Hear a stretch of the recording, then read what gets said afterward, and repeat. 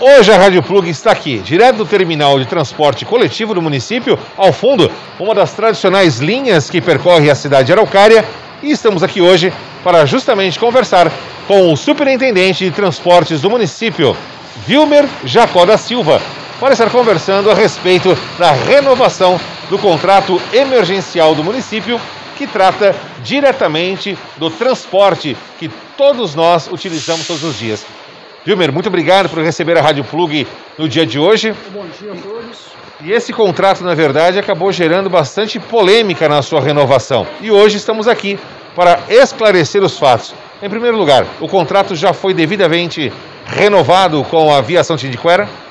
É, con conseguimos concluir essa renovação. Renovação não, né? É um novo contrato. É um novo contrato emergencial que inicia-se dia 27 por, por 180 dias. Ou mesmo, se nós concluirmos o processo ordinário antes mesmo desses 180 dias, essa nova empresa que venha a ser vencedora, ela poderá iniciar o, o transporte coletivo imediatamente.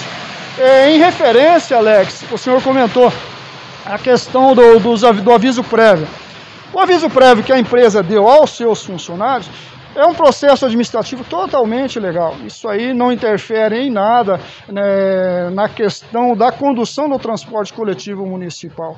É, tanto é que não interferiu e não vai interferir no custo da tarifa hoje implantada pelo município, pelo nosso prefeito. Né? Na verdade, a polêmica se deu justamente porque várias pessoas na cidade associaram a, a essa formação, aliás, a emissão de aviso prévio, a redução de passagem do nosso município, que foi anunciada já nos primeiros dias da nova gestão do prefeito.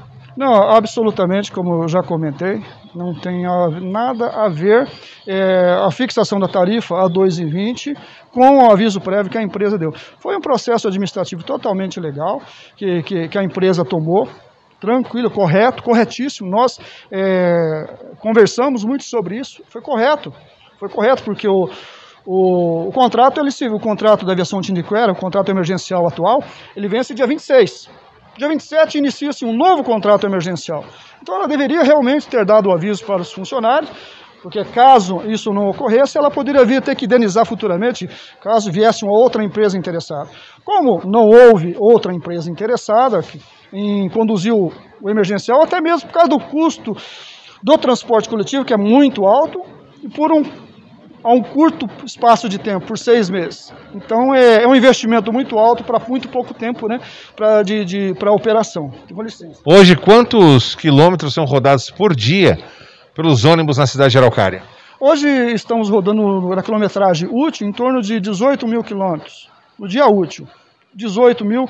É, agora, com o próximo contrato, como ficou estipulado, rodaremos pelo menos 510 mil quilômetros ao mês.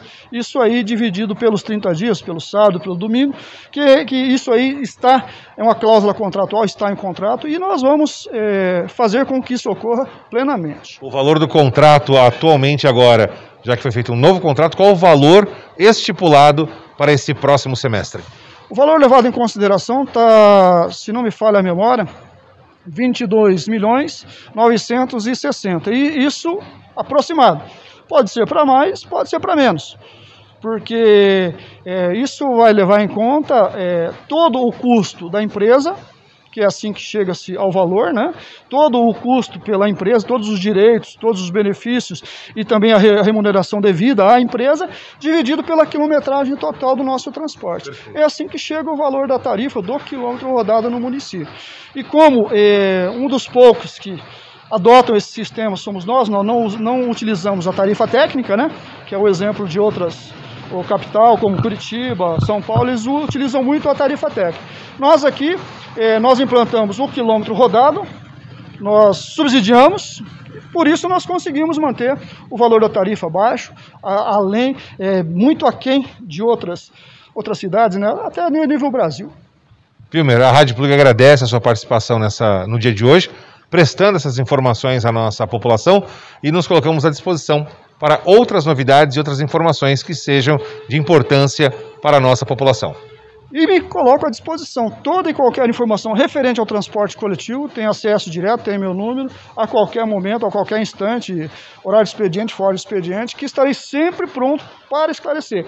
Porque nós procuramos fazer uma gestão austera, dedicada, para levar o benefício, tudo isso em benefício ao nosso cidadão, que é o que? A qualidade no transporte coletivo e redução da tarifa. Esse é, foco principal no transporte coletivo nosso, na nossa gestão, é exatamente essa. É, melhor qualidade com um custo bem acessível. Jornalismo, verdade com responsabilidade na Rádio Plug. Alex Furtado para a cidade de Araucária.